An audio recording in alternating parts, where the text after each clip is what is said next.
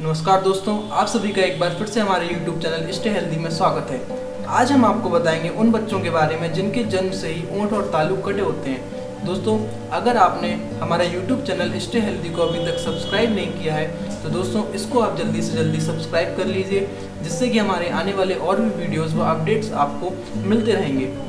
हमारे बीच पैदा होने वाले कुछ बच्चे कटे ओठों के साथ पैदा होते हैं। इसका इलाज बहुत ज़रूरी होता है। अगर इस पर ठीक तरह से इलाज नहीं किया गया तो बच्चे को आगे चलकर कई समस्याएँ आ सकती हैं। जैसे कि उसका ठीक से ना बोल पाना, अच्छे से कुछ ना खा पाना या ना पी पाना, खांसी, जुकाम होना व बार बार बच्चे का बीमार पड़ना।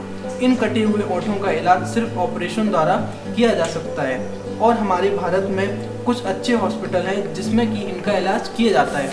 तो दोस्तों, अब हम आपको बताएँगे कि वो हॉस्पिटल कौन कौन से हैं। तो सबसे पहले दोस्तों, कुछ प्राइवेट हॉस्पिटल हैं।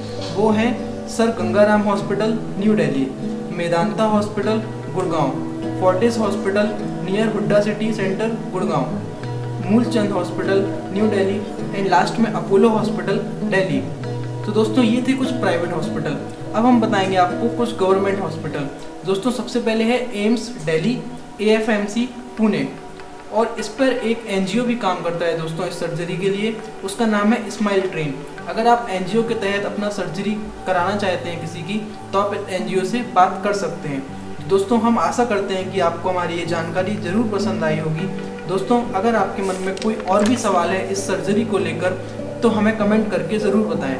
और इस वीडियो को लाइक करें और ज़्यादा से ज़्यादा अपने फ्रेंड्सों में शेयर करें, जिससे कि ये जानकारी और लोगों को भी मिल पाए। Thanks for watching my video